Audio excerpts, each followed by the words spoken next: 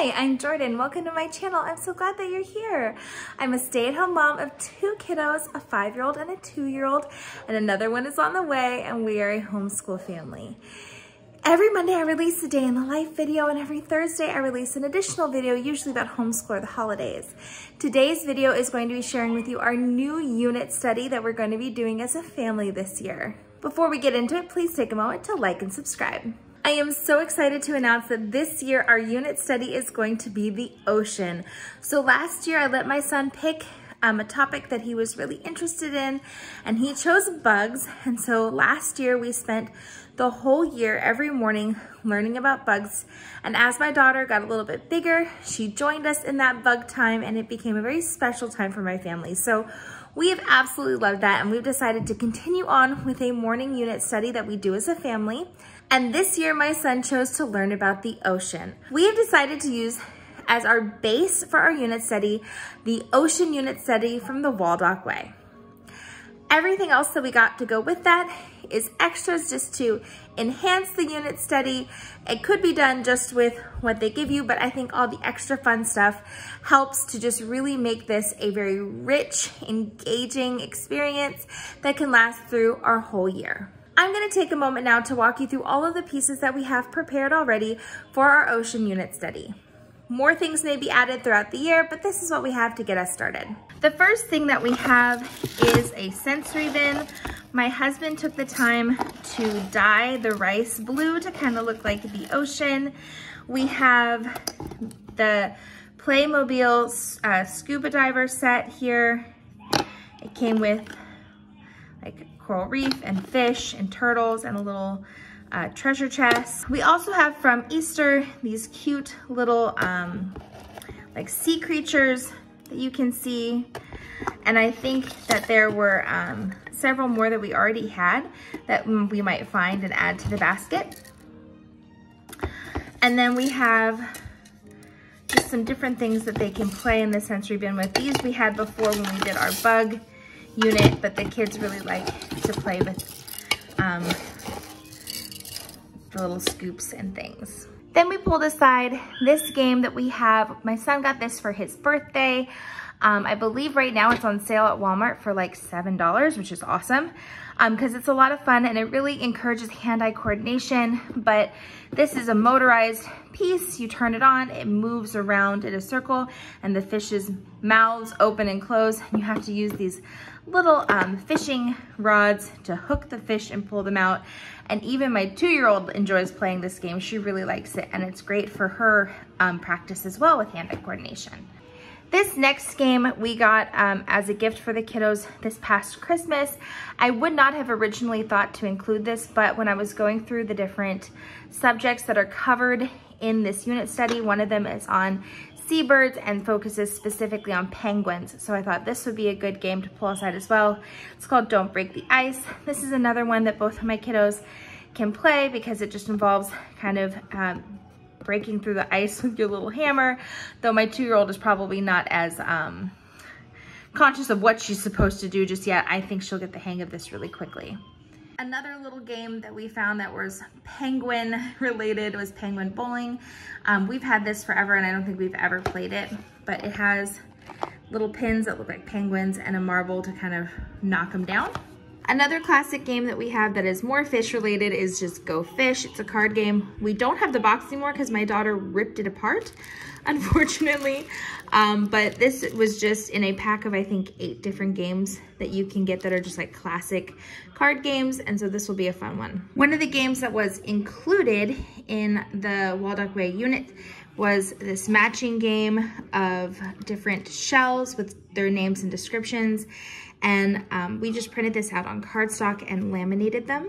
Another included game was a sorting game that again, we printed on cardstock and had laminated. Another game that they included was this trivia-based game. It's got four different categories. It also came with a game board that we also have laminated so that you could like draw cards based on where you land um, in the different categories. We'll do that, but we'll also probably um, just look at this uh, as we get to each of these different topics. The final included game that they had was Animal Ocean Bingo.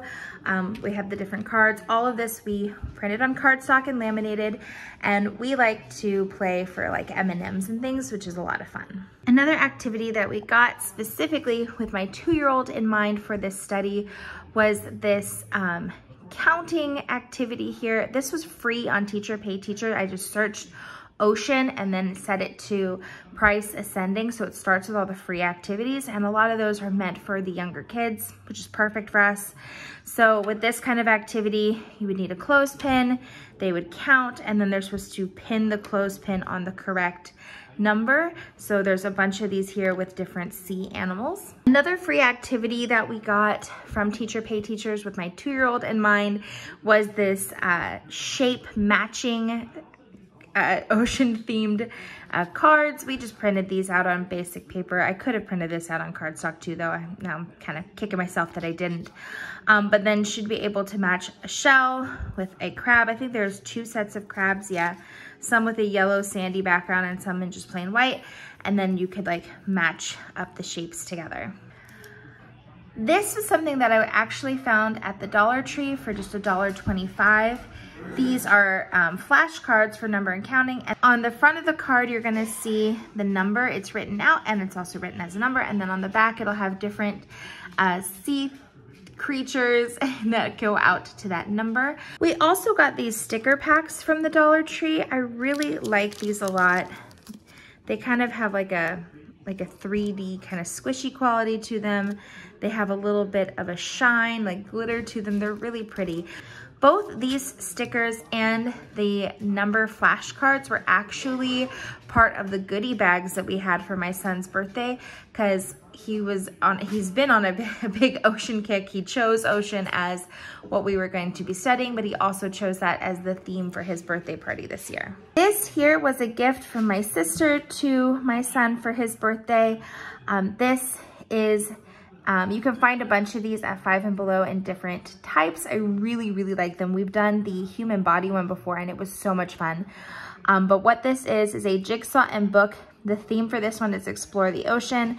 You can see it has this big puzzle in it that's shaped like a shark with the, the background being all the different ocean creatures, but it also has a sticker book in it that is very informative and is gonna give us lots of fun facts. So this will be a fun addition to have with our basket. Here we have just a basic coloring book. We've had this for a minute. It has some activities in it, but I thought it would be a lot of fun to have something that my daughter could color in on days when maybe we don't necessarily have things for her to do, but it's Baby Shark it's a lot of fun and it goes with our theme. This was in my daughter's Easter basket this year and right now she's still too little for it, but by the end of the year, I think she's really going to take to this really well. This um, has in it multiple different types of activities, tracing activities, things about shapes and letters and connect the dots. So like I said, right now she's too little, but by the end of the year when we're wrapping up this ocean unit, I think she's gonna really love this particular book. This was another thing that was in my son's um, goodie bags for his birthday party. These were from the Dollar Tree as well. These are paint by water sheets. And what we did for his party is we pulled the sheets out and put like a couple in each goodie bag. So we weren't giving every kid um, a whole book, but um, they're just, you just give them a cup of water and a paintbrush and then the color will fill in. And so there's a bunch of different ones for the different creatures. One of the things I saw online that I thought was really interesting was this Magic School Bus Rides Again Exploring Oceans Science Kit. So you can kind of see this has a bunch of different activities in here that are all like ocean based and I thought that this would be a lot of fun um, for us to kind of get into some maybe experimentation and some hands-on activities that are going to support what we're learning about with the ocean. One thing that my son is absolutely obsessed with is dig kits. Uh, we did this with the bug unit. We had a set where you could dig out, I think it was like three different um, bugs or then there was like a, it was like a spider, a beetle, and I think a scorpion and they had been like encased in a little plastic bead and you could see them. This one comes with several in here um, that he can, uh, you know, dig apart um, because he loves them so much and he asked for this specifically, so I went to find the ocean one. My son also really loves sticker books, so we got the Discovery Real Life Sticker Book Ocean. See, lots of stickers in it, and then it'll like give him the different, um, oh, there's more stickers too, oh, nice, uh, environments where he can put them in. We also got the DK Ocean Ultimate Sticker Book.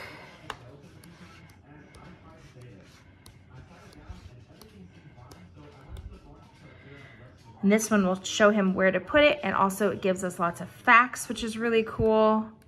And then also a third sticker book. Like I said, he absolutely loves sticker books. Are one of his favorite things. So we knew we had to include it in what we had here. But we have the Ocean Animals Sticker Activity Book. So it's not just uh, a sticker book, but it is an activity book as well. And this is from National Geographic. And this is gonna pair really nicely with what we're doing as well. This is also a sticker book, but it is also like a Where's Waldo activity book, which is really cool. My son got this at Easter time as well. And I just think he's gonna love this because he really loves Where's Waldo. And, you know, then it's also oceany, so it fits really well with what we're doing. We also have some books here that we have that were ocean that we we set aside. These were gifts from people um, that we have gotten recently. We have Over and Under the Waves. We have another book that's in that same series, like Over and Under the Dirt, and we really like that one as well. And this is the book of The Little Mermaid by Jerry Pinkney. I think I've talked about this before, but I have a deep love for Jerry Pinkney. Um, and I just I'm very excited to read this with my kiddos. Um, both my son and daughter love mermaids, so I think they're gonna love this, and the artwork in this is just absolutely gorgeous. We also have this book here, I Am Brave, A Positive Power Story. I'm not sure if the whole thing is gonna be about the ocean, but it seems like at least a good bit of it is about water and surfing. We have this Wild Kratts book, Wild Sea Creatures, Sharks, Whales, and Dolphins, which is gonna go great with what we're doing. And for the first novel that we are going to read, because we like to include novels in our um, morning basket time, we're going to be reading The Great Shark Escape, The Magic School Bus. So this will be fun that we'll be able to read a Magic School Bus book and maybe do some Magic School Bus experiments as well. Then getting into our reference book, this happened to be a book that my husband owned as a kid um, that we still had, all about hermit crabs. So this is gonna be great when we get into like the crustacean portion of the unit study. We have here for our first reference material, Ocean Anatomy. Um, my stepmom had a bunch of these at her house for the different ones that this author has. And I was immediately like, this is beautiful. And so when we decided to do this study, I knew we just had to get this book. I'm so excited. We also got the big book of blue. We had checked out from the library the big book of, I think, bugs. And it was another one of those where I was like, oh man, like this is gorgeous. I wish we had gotten this bug one. It was great to see it from the library, but I just wish we had it on our shelf. But now we got the one for the ocean. I just think that the illustrations in it are absolutely gorgeous. On the same vein, we got the Oceanarium. We had gotten the, I wanna say it's called like the Anatonarium. I'm saying it wrong. But the version of this book that's all about the human body we had gotten from the library. And my son actually has checked it out more than once because he likes it so much. And so I thought, well, if they have one of those for our ocean study, we should definitely get it. And we did. And I just think that this is, oh, so gorgeous. We really love the illustrations in the other books, but we think it's important to see um, like photographs as well. So we got this DK Smithsonian Ocean Visual Encyclopedia, and it really does have some gorgeous pictures in it um, that I know are just gonna be super captivating to my kiddos.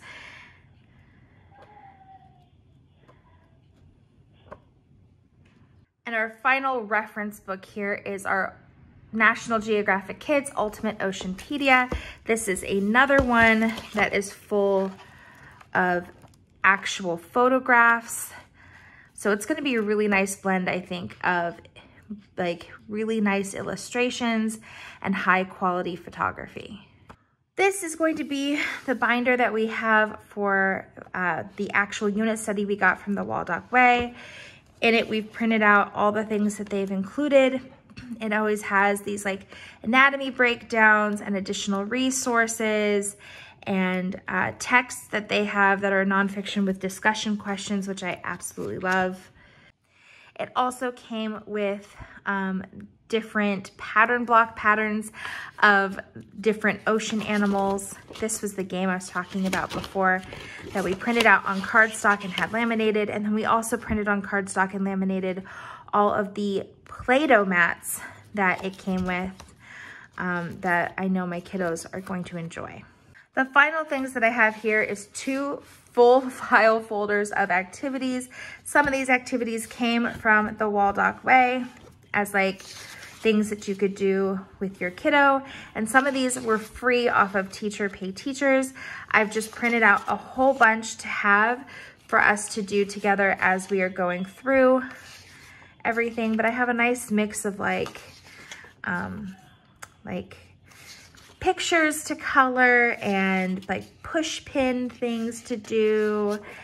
And then there are also things like color by number or color by sight word, which is gonna be good for my kiddo. Tracing activities, but lots of fun different things that I have uh, gotten here for us to do together. All right, and here is everything for our ocean study that we're about to start. And this is going to be our morning time basket, our unit study.